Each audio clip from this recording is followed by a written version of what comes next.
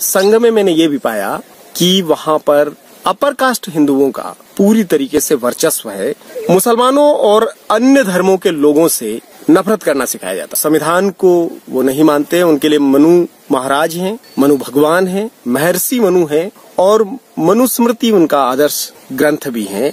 एक तरीके से धीरे धीरे वो इतना ब्रेन वॉश कर देते हैं कि कट्टरता पैदा हो जाती है और इतनी कट्टरता की आत्म बलिदान की इच्छा होने लगती है। तो एक तरीके से फिदाइनी दस्ते के रूप में तैयार कर देते हैं। नमस्कार आप देख रहे हैं न्यूज़ जरा हट के। कई बार लोग ये पूछते हैं कि आपने राष्ट्रीय स्वयं सेवक संघ को क्यों छोड़ा? उसकी क्या वजह है? तो उसकी कई वजह हैं। आज मैं आपको वो दस कारण गिनाना चाहता हूँ जिनकी वजह से मैंने आरएसएस को छोड़ा। सबसे पहली बात तो ये है कि वो लोग अवैज्ञानिक बातें सिखाते हैं। और मेरा सबसे पहला जो उनके साथ एक विद्रोह जो शुरू हुआ, बगावत जो शुरू हुई, वो उन्हीं बातों पर शुरू हुई कि आप जो स्कूल में पढ़ाया जा रहा है और जो आप शाखा में सिखा रहे हैं, वो दोनों मेल नहीं खाता है। वहाँ पर हमें ये सिखाया जा रहा है कि सूर्य आग का गोला है और आप सूर्य नमस्कार करवा रहे हैं और उसको देवता कह रहे हैं और वो, ये भी आप बता रहे हैं कि हनुमान जी इतने पावरफुल थे कि वो सूर्य को निगल गए थे।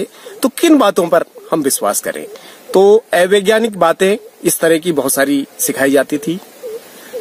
मुसलमानों और अन्य धर्मों के लोगों से नफरत करना सिखाया जाता था। तो ये नहीं कहा जाता था कि इन धर्मों से नफरत करनी है, लेकिन ये सिखाया जाता था कि ये आक्रांता है, मलेच्छ है, यवन है, विदेशी है, विधर्मी है, ये बाहर से आए हुए लोग हैं, इनका इस धरती से कोई लेन देना नहीं है।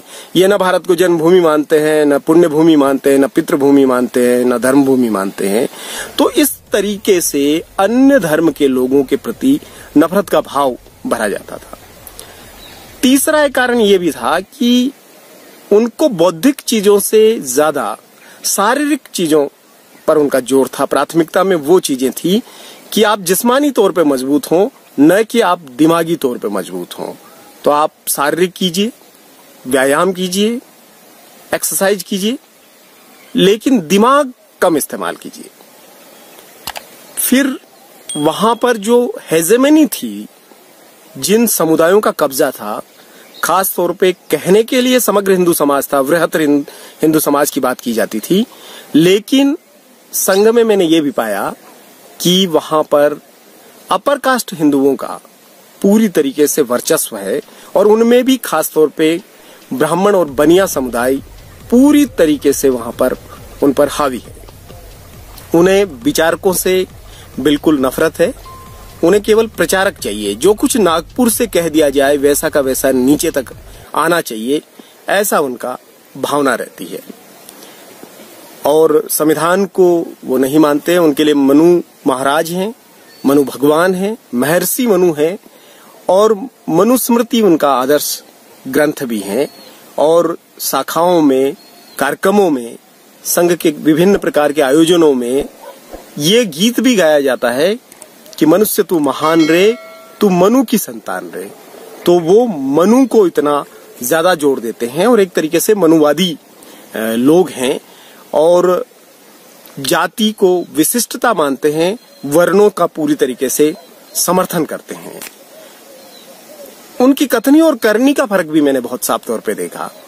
हम लोगों को मोटिवेट करके, हम लोगों में बलिदानी भावना भर के हमको भेज दिया उन्होंने अयोध्या की तरफ़, ट्रेन में बिठा दिया।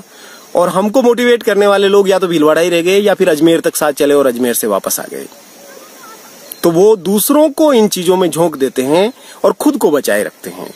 जब भी दंगा फसाद और कुछ चीज़ें होती है तो संघ के बड़े जो अधिकारी हैं और नेता हैं, उनके बच्चे उसमें शामिल नहीं होते। उनके बच्चे अच्छी अच्छी जगहों पर पढ़ते हैं और वो सामान्य जो स्वयंसेवक होते हैं दूसरे समुदायों के, उनको आगे करते हैं। हिंदी, हिंदू, हिंदुस्तान की बड़ी बातें, लेकिन उनके जो संतानें हैं, वो मिशनरी कॉन्वेंट स्कूलों में, अंग्रेज़ी माध्यम के स्कूलों में पढ़ते हैं और हमें हिंदी के प्रति प्रेम भाव और मातृभाषा और राजभाषा, राष्ट्रभाषा कह करके सारी बातें कही जाती है। एक तरीके से धीरे धीरे वो इतना ब्रेन वॉश कर देते हैं कि कट्टरता पैदा हो जाती है और इतनी कट्टरता की आत्म बलिदान की इच्छा होने लगती है। तो एक तरीके से फिदाइनी दस्ते के रूप में तैयार कर देते हैं। जैसे जब राम मंदिर की कार सेवा के लिए पहली बार में गया, तब हम लोग गीत गा रहे थे कि राम जी के नाम पर जो हम मर जाएँगे, दुनिया में अपना नाम अमर कर जाएँगे। तो बिल्कुल मरने मारने की स्थिति में हम आ गए थे। आदर्शों की बातें बहुत होती है, लेकिन उन आदर्शों का आचरण में, व्यवहार में, उन सिद्धांतों को स्वयंसेवक में हमने नहीं देखा। तो जो हिंदुव सोदरा सर्वे की बात करते थे और न हिंदू पतितो भवेद की बात करते थे, वही लोग जातिगत भेदभाव और छुआछूत भी करते थे। तो ये जो दोगलापन था संघ में, वो भी बहुत साफ़ तौर पे मुझे नज़र आता है।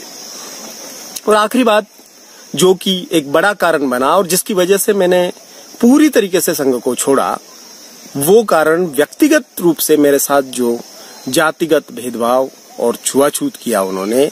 अस्थि कलश यात्रा में आए, मेरे घर में खाने से इनकार किया, पैकेट बनवा करके ले गए और उन खाने के पैकेट्स को भी रास्ते में फेंक करके चले गए और वहाँ आगे जाकर के दूसरे गाँव में अपर कास्ट हिंदुओं के यहाँ खाना बनवा करके रात में उन्होंने खाया। और जब इस बात की, का विरोध मैंने किया, जब इस बात को उठाया, मैंने सवाल पूछा कि ये क्यों किया मेरे साथ तो उन्होंने उसको सुना ही नहीं बिल्कुल नजरअंदाज कर दिया और बाद में ये भी कहना शुरू कर दिया कि ये बहुत छोटी सी बात है, बहुत मामूली सी बात है। इसको बतंगड़ नहीं बनाया जाना चाहिए और मैं राष्ट्र सेवा में लगा रहूँ, न कि इस तरीके से इधर उधर हो जाऊँ। तो एक जो मेरे लिए स्वाभिमान का प्रश्न था, मेरी जो अस्मिता का प्रश्न था, मेरी जो पहचान का प्रश्न था, वो उनके लिए कोई मायने नहीं रखता था। उनके लिए वो बहुत छोटी सी बात थी और वो जो बहुत छोटी सी बात थी, वो मेरे लिए बहुत बड़ी बात हुई और मैंने उसका पूरा संघर्ष को जारी रखा और मैंने ये महसूस किया कि उनकी हिंदू हिंदू भाई भाई की बातें महज लफाजी मात्र है। न उनको कोई समरस समाज बनाना है, न समतामूलक समाज बनाना है, न बराबरी लानी है, न संसाधन सबको देने कोई लेना देना नहीं है। उनको वर्ण व्यवस्था, जाति व्यवस्था पर आधारित रूढ़ीवादी, हिंदूवादी पूरा एक व्यवस्था बनाए रखनी है और उनका पूरा जो हिंदू राष्ट्र है, वो एक तरीके से ब्राह्मण राष्ट्र है, जिसमें ऊपर के तीन वर्ण राज करेंगे और चौथा जो शूद्र वर्ण है, वो गुलामों की भांति होगा और जो अतिशूद्र है, अछूत है और आदिवासी हैं, उनका तो कोई मायने ही नहीं होगा। वो तो बिल्कुल दो एम, तीन दर्जे के लोग होंगे। यही पूरा उनका एजेंडा है और उसी दिशा में संघ आगे बढ़ता है।